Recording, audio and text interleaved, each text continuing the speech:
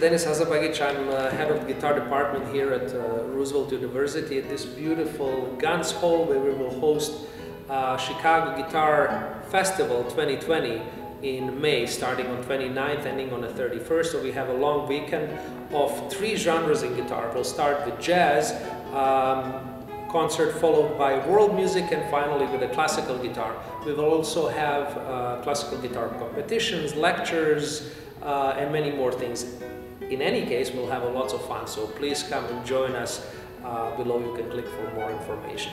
See you.